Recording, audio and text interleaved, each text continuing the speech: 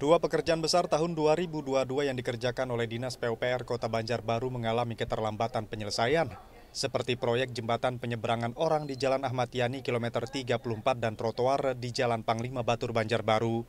Dari hasil tinjauan Komisi 3 Dewan Perwakilan Rakyat Daerah Kota Banjarbaru, proyek jembatan penyeberangan orang yang seharusnya rampung pada 28 Desember lalu pengerjaannya sudah 98 persen.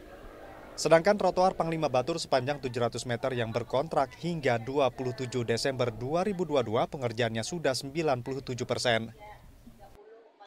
Nah hasil komunikasi dinas dengan uh, kontraktor, kemudian ke lapangan kita memastikan berapa persentase yang memang uh, sudah rampung dan hampir bisa dipastikan bahwa di Januari ini pekerjaan ini bisa rampung semua. Artinya kan ada pekerjaan yang bakal mangkrah dan lain sebagainya. Artinya semuanya bisa rampung di Januari karena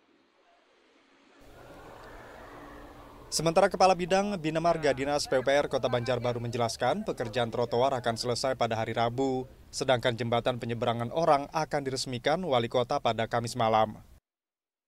Kemarin itu kan memang uh, material yang kita gunakan kan dari besi cor tuang itu tidak ada di di sini.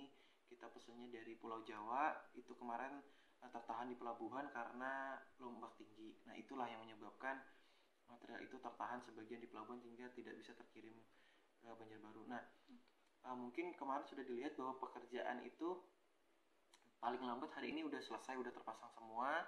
Untuk yang bolatnya tadi uh, mungkin juga hari ini udah bisa dilakukan serah terima pekerjaan. Terlambatnya proyek ini selesai terkendala oleh pengiriman sejumlah material karena cuaca buruk sehingga sempat tertahan karena tidak ada pengiriman, seperti tiang pengaman trotoar dan atap jembatan penyeberangan. Nabila Seva, Kompas TV, Banjarbaru, Kalimantan Selatan.